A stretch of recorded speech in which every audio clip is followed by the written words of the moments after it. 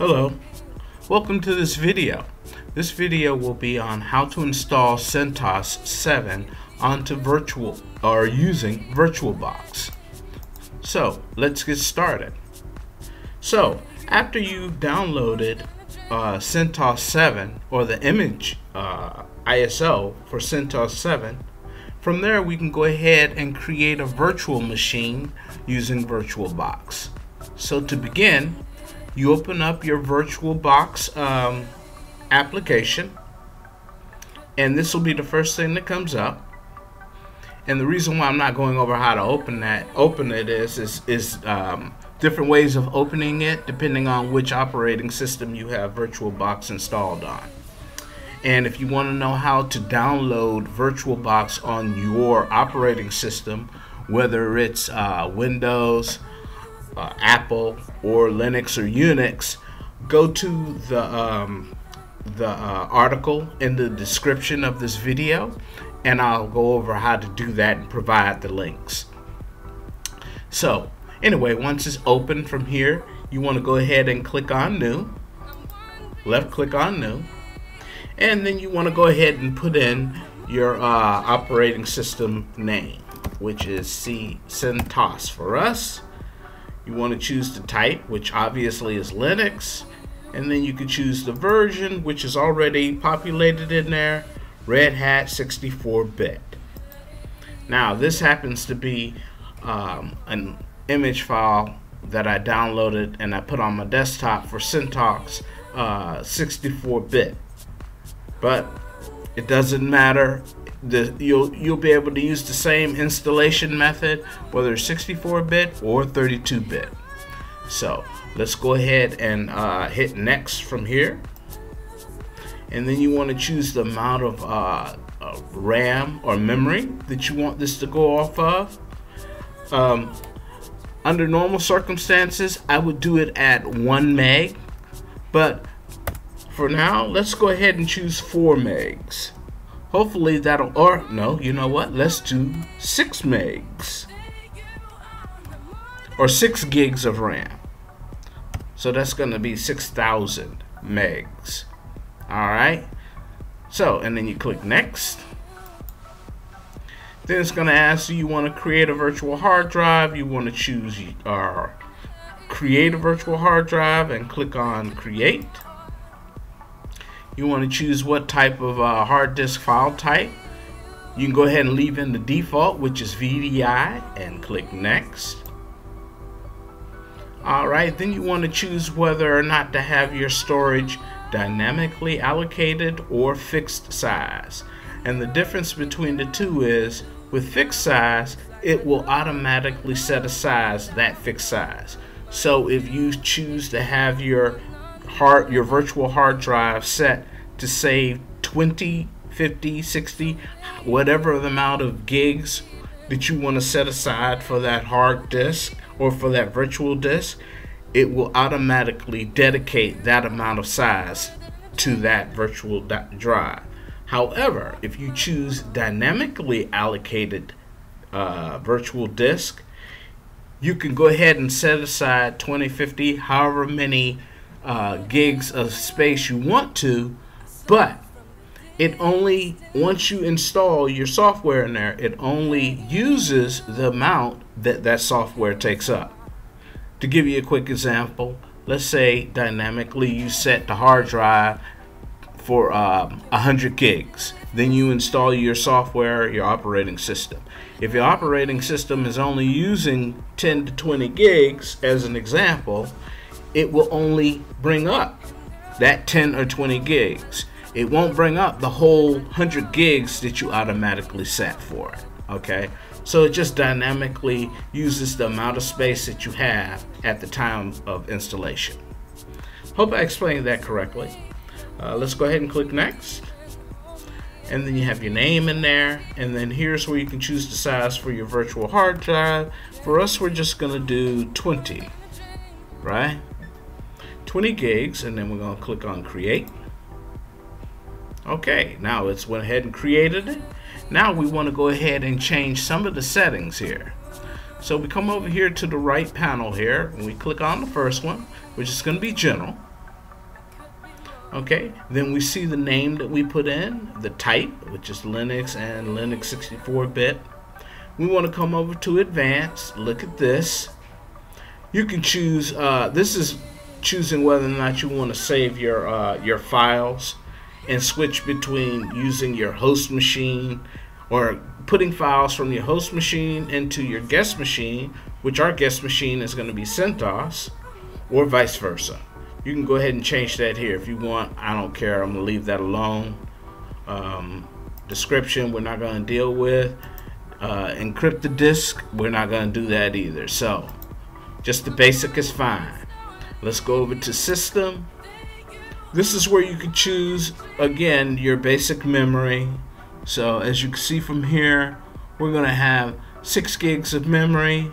A lot of people take out the floppy drive in the boot order. We'll go ahead and do that as well. And we'll keep it on hard disk and optical. Everything else you can go ahead and leave at the default. Come over here to processor okay and we can go ahead and choose since I got a quad core I'm gonna choose two cores out of the four okay uh, enable PAE you can leave that set to default Let's come over here to acceleration. That's okay. You can accept the defaults for that. Okay, so we're good there. We go to display. Now, we are installing a CentOS server, so it's just going to be all command line. We don't need the GUI. And most people, when they install a server, they don't install a GUI, GUI or a desktop environment.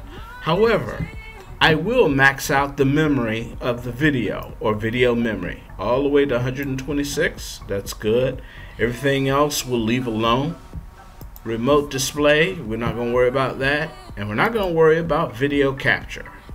So we're good with that. So we go down to storage. And then from here you want to choose empty. And then you want to come over to the far right. Click on this uh, icon here. And then you want to choose this one right here. Choose virtual optical drive file. You left click that then you want to go to the image that you downloaded for CentOS. We have ours in the uh, desktop area. Okay so you double click on that and then there's your image right there. And then you just click on open. Alright so you're good there. We're gonna skip audio. We're gonna go down to uh, network. And we're only going to use one adapter. This is using your uh, network your network interface adapter. So where it says attached, you can either have it. You can choose any option. By default, it has NAT or NAT, which stands for Network Address Translation. Okay. What I'm going to do today, so that it can only, so that uh, the other um, uh, computers on my network will be able to access it in case I want to develop or make some type of a, a, server like a file server or a web server or what have you you want to come here and change it to bridged adapter. That puts everything on the same network right? Okay. And so then that'll be it for the configuration of the virtual machine. We just go ahead and click OK. All right. Now we have our virtual machine created. And then from here, what we want to do is we want to go ahead and start. This and we hit the start button, and this will uh, this will start the installation of our CentOS 7 operating system. So let's just go ahead and do that now. I click start. All right, and it's going to come up here. It's going to give you a certain amount of seconds. But to stop that, we're just going to choose, as you can see the options here, there's two or three. We're going to choose install CentOS 7. All right, that's what we're going to choose. And the only other thing I'm going to do before we start that is I'm going to come up here and click on view. And what I want to do is click on scaled mode. All right. Click on scaled mode and then switch scaled mode. Now, what this is going to do is this is going to allow me to make the screen as small or as big as I want. And what I want to do is I want to make it big enough so that you viewers can see it. So I hope that's good enough and I hope it's not distorted. Okay. And then like I say from here, we choose install CentOS 7. You can choose that with the up and down arrows. Okay, and as you can see, install 7 is highlighted. And then from there, we just go and press enter on our keyboard. And then from there, CentOS is going to go through uh, its installation. All right. And there it goes. It's starting right there.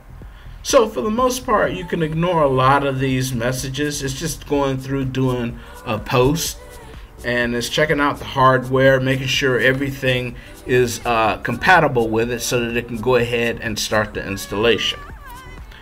Okay, so we'll give it a few moments to do that, and then soon the um, you'll see a pop up or you'll see uh, a page come up and it's going to come to a page. This is the page right here where you can choose your language. So you're going to choose whatever language you want. Obviously, I'm American, so I'm going to choose English. Okay, then you can choose your keyboard, but the default is already set. So we're good with that. So we're just going to go ahead and come down to the bottom right and click continue. All right. And now we come to this area and what you want to do is go ahead and choose the area where you're at. You left click on it. We are already, it already has it set for me. I'm here, I'm actually in Florida, but the closest that I can choose is New York, so that's good. And then we come back up to the top left and we go ahead and choose done. And you come to keyboard. Keyboard is set to English US, that's good, so I leave that alone. Uh, language support is set to English United States, so I'm good with that. Then we come down to installation source. You can left click that.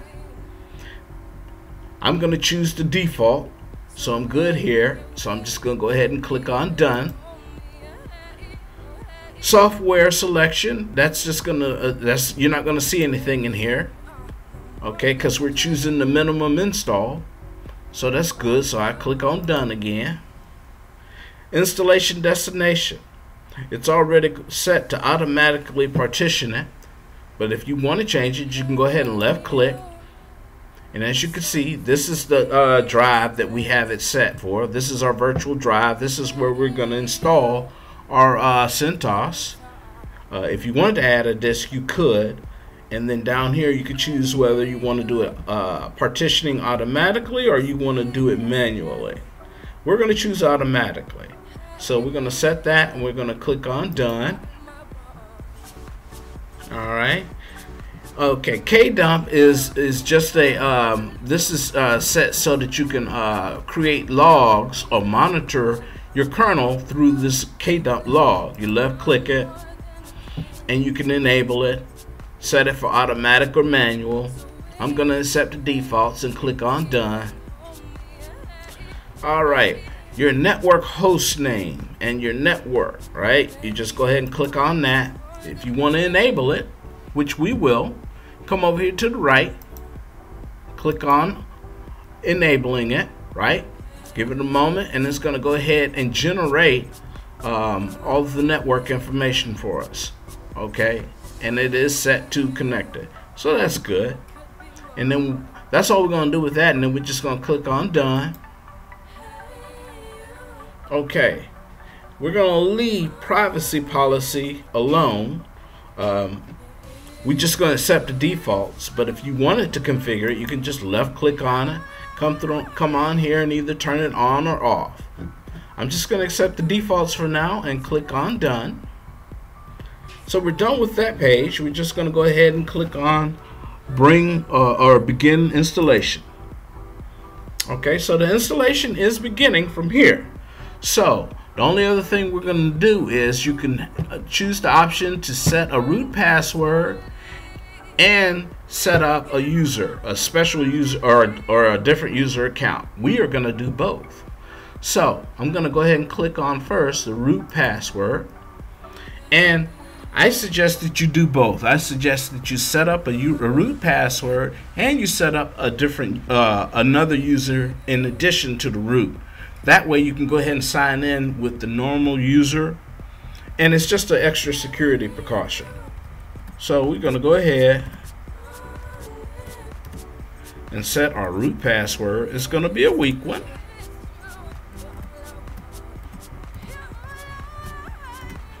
All right. And then look down here at the bottom. It says it's a it's a uh, it's a weak root password, but we don't care. And we're just gonna hit done twice. All right, and that's set. Then we're gonna come over here and we're gonna set up our user. Okay, and I'm just gonna add the same thing for my username. Then I'm gonna go ahead and make this an administrator or a, a person that has root rights. And I'm just gonna put in my password. And again it's gonna be a weak password and it's gonna tell me that. Okay?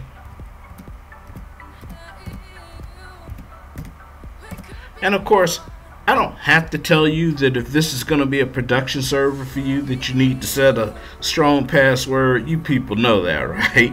If you don't, then you probably shouldn't be setting uh, um, a production server anyway. But you guys know that, so go ahead and make your password strong. But because this is a tutorial, I'm going to go ahead and just set mine. It's going to be a weak one. And then, uh, let's see, we are done. And just go ahead and double click on it twice and we're good for that. Okay, so the installation is going to take just a little bit longer. So I'm going to pause the video and then I will be back when we are done. So give me a moment here. I'm going to go ahead, pause the video, and we will be back.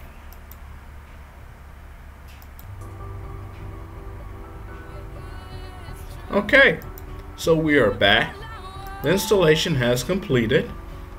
As you can see down here, CentOS is now successfully installed and we just need to click the reboot button for it to reboot. Okay, so let's go ahead and do that now. We're going to reboot it.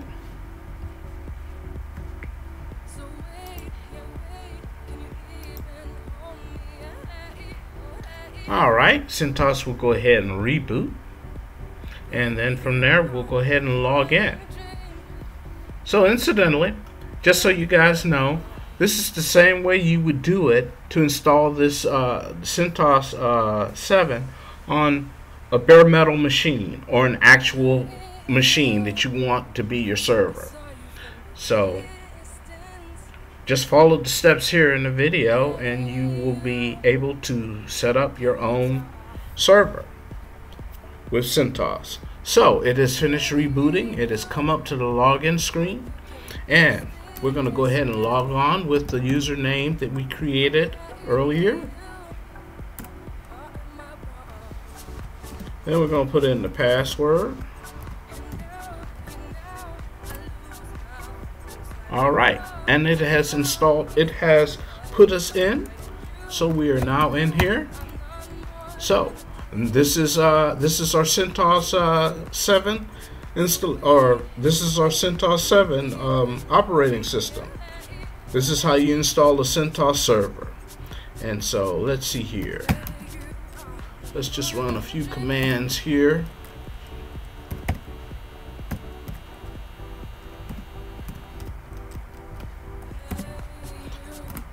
All right. And as you can see, oh, wait a minute. Oh, I know. I think I need to put in... Yeah. Haha.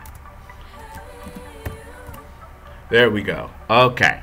So this shows us the version of uh, CentOS that we have installed on our system. So what we want to do from here is there are a few commands that you can run. One of the first things that you can run is uh, you want to uh, get yourself familiar with the, the uh, install package of uh, CentOS.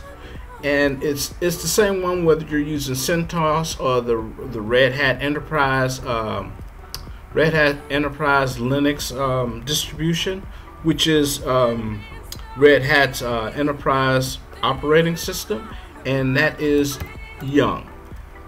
And YUM is an acronym for Yellow Dog Update Manager. And that's your installation or that's the uh, that's the install package that we use to install software okay? Um, like whatever software you want to install.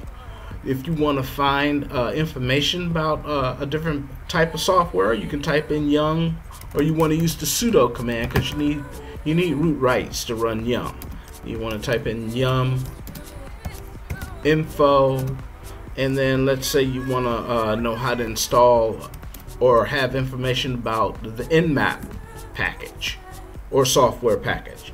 You just press that. Uh, let's see here.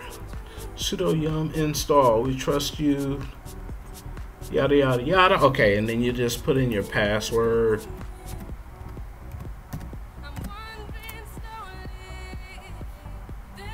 give it a few moments it's going to populate and, it's the, then it's going to give us information about the nmap package. And there you go. Another search command that you can use with yum is going to be sudo yum search. And that's NAP and then press enter and that as well is going to give you information about the package okay? So that's all we have for today. Stay tuned for our next video where we go over uh, what to do with your um, CentOS uh, server after you have installed it. So thank you very much. I appreciate you guys looking at this video and you have a good day